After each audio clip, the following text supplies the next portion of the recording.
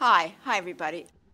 My name is Lenore Von Stein, and this is yet another episode of The Facts. And I'm here tonight with Bern Nix, Beth Griffith, and Andrew Bolotowsky. And we're going to do this is sort of a mixture of stuff. We're going to rehearse some music and also tell a story. And the story, I've, um, it's sort of a work in progress, and I'm calling it The Genocide That I Know. And when I was a kid, I was enthralled with the Second World War and the Civil War. I read about them all the time, and Nazis, and I read Goebbels' diaries, and I read lots of stuff. And uh, later, as an adult, I, I wondered if my, if my interest in this was to do with the fact that uh, this big thing that had happened to my parents and it happened to the civilizations of the world and the racism that was all around me and that in fact I was the victim of very often. And it, it, if that wasn't you know a motivator that I didn't realize uh,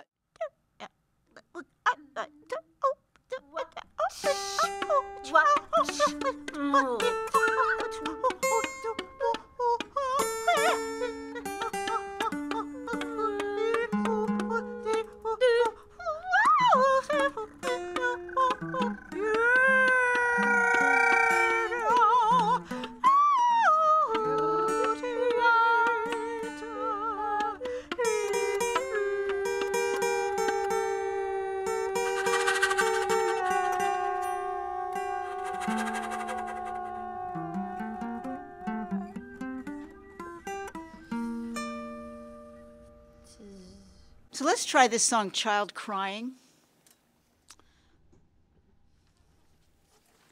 So I hear this kid walking, I've told this story before on the show. Uh, this child, very young child, three or four year old child's walking down, maybe not even four, and crying about how terrible a person he is, and the people that are with him are not hearing him, and they're not. They just want him to be shut up. You know, they're not helpful at all, and it's heart rendering the way this kid is. Uh, is you know, this this this one of the things that I think people do, children especially, but all of us do it, is that we, in order to feel like we're in control of the world around us, uh, we we accept blame for everything that happens, you know, and you know it's a two-headed dragon at least.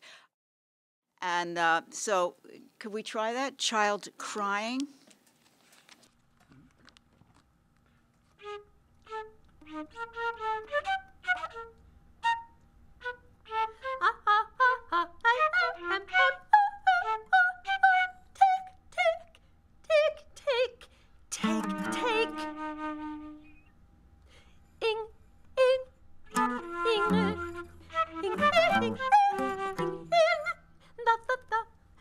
the.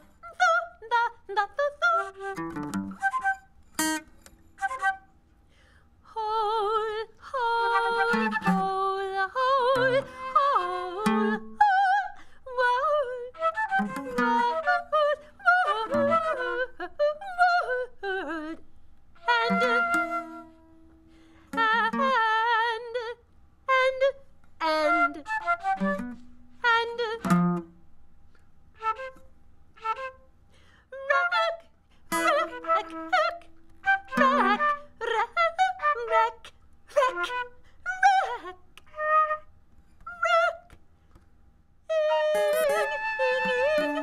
Thank.